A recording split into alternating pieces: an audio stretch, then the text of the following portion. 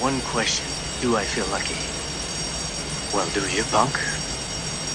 I sure do, because today I found a four-leaf clover. See? Yeah, for the last three years, I've been searching for a four-leaf clover. Last time I found one was in like late year 10. So, yay, lucky.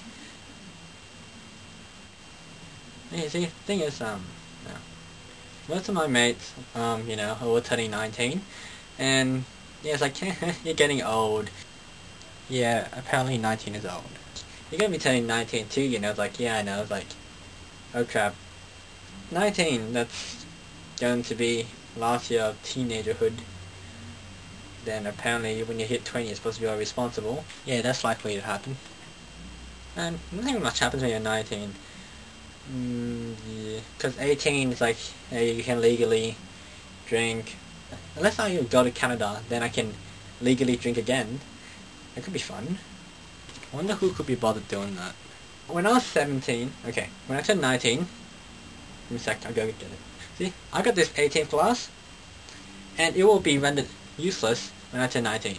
Because, you know, it's like one of those coffee mugs in your kitchen that has your name on it, or like dad of the year on it. You can't use that because that's not your glass or mug. And when you have a um, glass that says 80 on it, and yeah, once you turn an age that is not written on the number of the cup, it just somehow doesn't seem right. Yeah. I had it like when I was 17, a couple of days before I turned 18, but I didn't actually use it until I turned 18. So this glass is only valid for one year. And in less than two months it will suddenly become redundant, useless, crazy, unused. Is that odd? Or does it seem logical that because it says a certain number you have to be that number to use it? No, just crazy.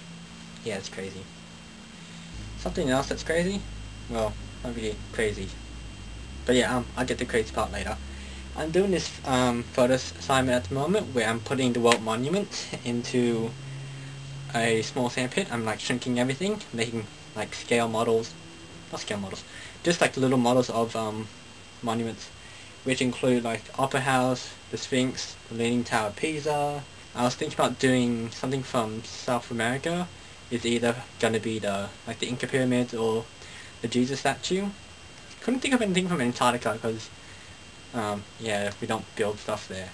And don't say igloos because igloos are from the northern part, the Arctic.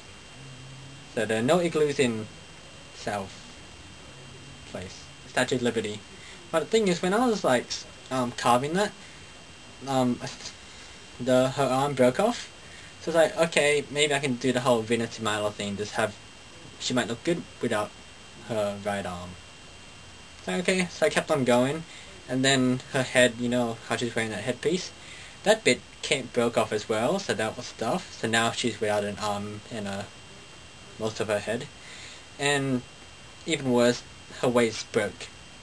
So now I'm just left with this, like a, not even a bust, it's like from her neck to her waist of the Statue of Liberty. Just do one landmark from each continent. And when I finish carving all those, there, my gun was like turned completely white from like all the offcuts and all the dust from the Hebel. Just a bit of OH&S for you. It wear a mask, a dust mask, because when it goes, when you breathe it into your lungs, it will stay there. It doesn't. It's bad. Technically, you should wear goggles too, but they kept on fogging up, so I didn't bother that. So, carving for 9 hours, well, 8 hours because of lunch. Yeah, 8 hours of carving. It's kind of like running a marathon. You're not one of those amateurs says, this year, I'm going to go run a marathon and decides this about a week in advance from the race. And once they're actually in the marathon, it's like, hey, I'm running it! And at the very end they finish, and after running like 20 Ks, they, they suddenly just, for like 20 minutes later, they suddenly just drop on the ground dead. What I'm trying to say is like after intense work all day, like my right arm, I was in the middle of having dinner, like and eating my lasagna for dinner. I was eating and then suddenly I lost all muscle control in my arm and I could like barely even pick up the fork after um, for like a minute or two because I don't know, just my muscles just died. I already said that. Yes, muscle just died in my arm. Yes, that's the crazy thing that happened. For all you creative people with likings of photography, there is a photo competition held by Canon. Basically, um, you register before the end of the month and they send you a package and you get to take photos of like the what's in the box they send you. You get to win prizes like digital equipment. So, if you end up winning, you can send me a couple things. Yeah. Head towards the Canon website, check it out. Yeah, for all you creative people, just give me a heads up. Thanks for stopping by.